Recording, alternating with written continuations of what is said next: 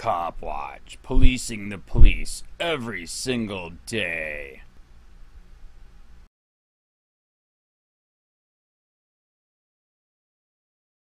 Making Charlotte County schools from jails into prisons. Sheriff Bill Prummell loves it when you are a sheep and you can be so easily indoctrinated and propagandized.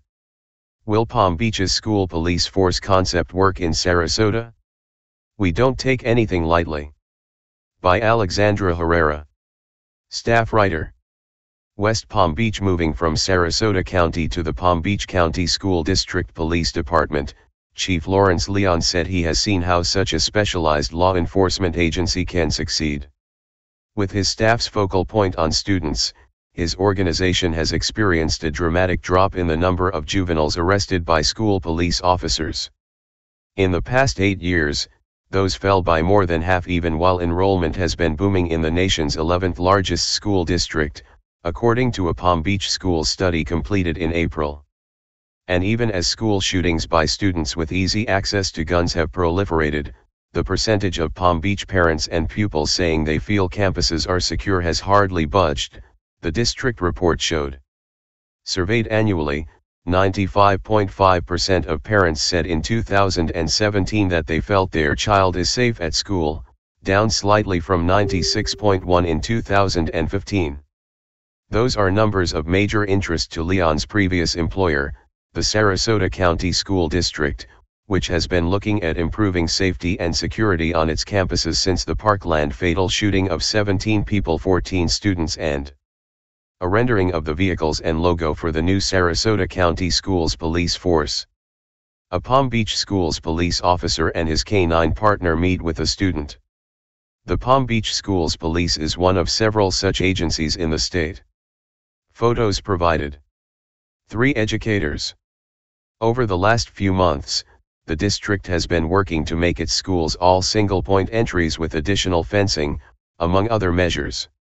Many of the security matters the district is dealing with are issues Leon said he had mentioned before he left the job of Sarasota's Director of Safety and Security in 2012. Like Palm Beach, the district has been working to start its own police force, and some here in the system have reached out to Leon for some guidance. Leon has given the district some feedback about their plans. The Sarasota County plans. Following February's shooting at Marjory Stoneman Douglas High, districts across Florida were tasked by local and state governments with working to create safer campuses, including the requirement of armed safety officers at every school. Sarasota County decided it would create its own police department. In counties like Broward, where the massacre occurred, School board members last week tentatively agreed on armed guardians who are non-sworn security guards to handle current schools without resource officers, according to the Sun Sentinel. In April, the Sarasota district started looking for a police chief and then designated Safety and Security Director Michael Andreas to become executive director to oversee the new department. The district tapped Paul Grohowski this month as police chief. The school district also met with law enforcement to seek out more information on how to proceed. Sarasota County Sheriff Tom Knight advised the district to let local police agencies keep most responsibilities until at least Christmas. With Grohowski taking the reins, the district is looking to hire the rest of the force. According to Andreas, the district has had about 20 applications. Sarasota County's goal is to have the police force fully up and running by the 2019-20 school year, relying on departments in Sarasota, North Port, Venice, and the Sheriff's Department until then to provide safety and security. The district currently splits the cost of having school resource officers and school resource deputies with the other local departments. It is hoped having a district police force will help curb costs. The proposed operating budget, which has been evolving as the district continues to have meetings, was about $1.9 million for 2018 to 19 and $3.1 million for 2019 to 20 for the internal police department. Those costs do not include the rest of the Department of Public Safety and costs associated with contracts with local agencies. Adding that in would make the budget, $5.4 million, for 2019 to 20. Palm Beach.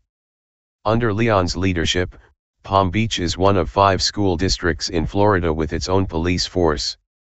It was founded in 1972 as a security office and then became known as a police department in 1981, the same year Pinellas County began its school district law enforcement agency. We created a police force in 1981 to build relationships with the kids, to let the kids understand law enforcement, how it can not just be a cop on the street but we can also be their mentor, counselor, a system when they are in need to have assistance, Leon said. District cops operate like a traditional police force, but they have a sharp focus on schools and students. There are 152 officers in Palm Beach along with 10 members of a command staff. That's now not enough for the district's 180 schools thanks to the new legislative requirement. To address it, the district is working to fill the campuses with officers from other nearby agencies working overtime shifts until it can hire more of its own staff, which is expected to take more than a year, according to the Palm Beach Post. At those schools and other district properties, Leon's staff covers 193,000 kids and 23,000 employees in a county that's as big as Rhode Island. Our jurisdiction is countywide, because of what we do, is, countywide, Leon said. Like city and county police forces, the Palm Beach Schools Police Department works 24 hours a day, and has its own around-the-clock communication center. Leon said a county as large as Palm Beach requires working well with law enforcement partners.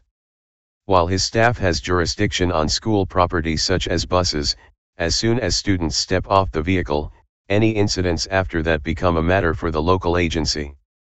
While the police force has had a drop in juvenile arrests from 811 in 2009 to 373 in 2017, Leon said there has been a rise in threats to the district. Since the Parkland killings, the district has investigated about 150 social media threats. Palm Beach's goal is to intercept the person who made the threat as quickly as possible before they reach school property. We've had numerous threats before. We have detectives who drill down through social media and we work to meet with them at the house, Leon said. Leon added the district works with the Palm Beach Sheriff's Office's Behavioral Health Unit, and assists on students' needs mental health attention. We don't take anything lightly, Leon said.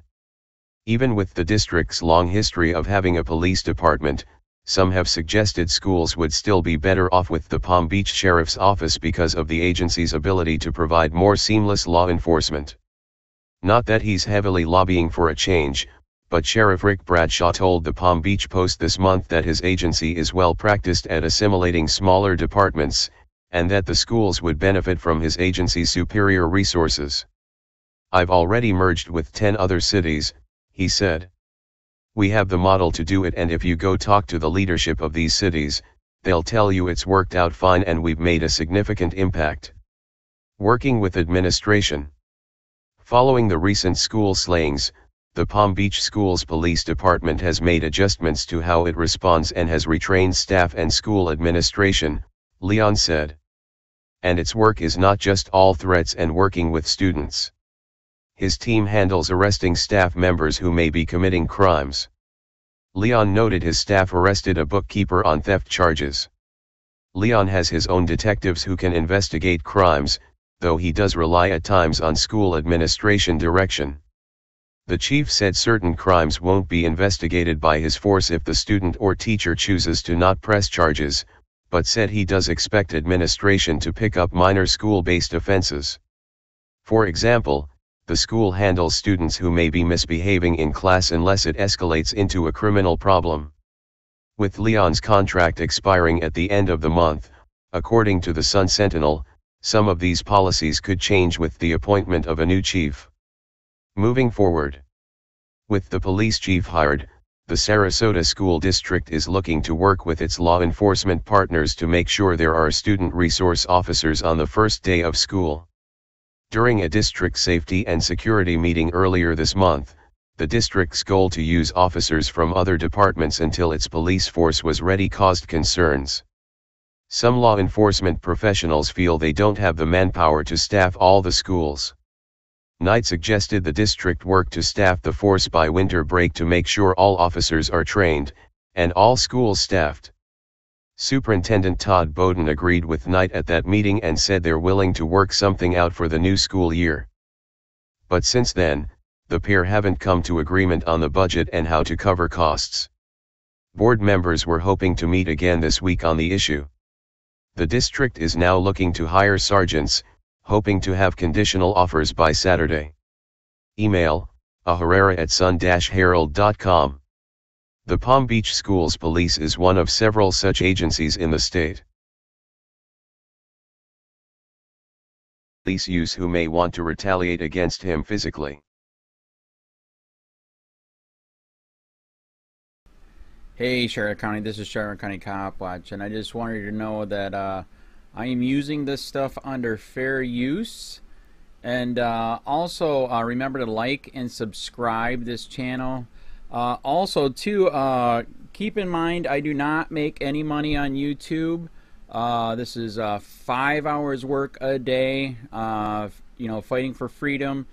And I do, I you can donate with PayPal and Patreon. Uh, I just want you to think about this. If everybody gives uh, to PayPal and Patreon, Patreon is every month. Actually, PayPal you can do every month. I have 12,000 subscribers. If everybody gives, I can uh, quit my regular job and go full-time investigations on Charlotte County and possibly even more and beyond. So just keep that in mind. If everybody helps out, I can go full-time doing this. Thanks.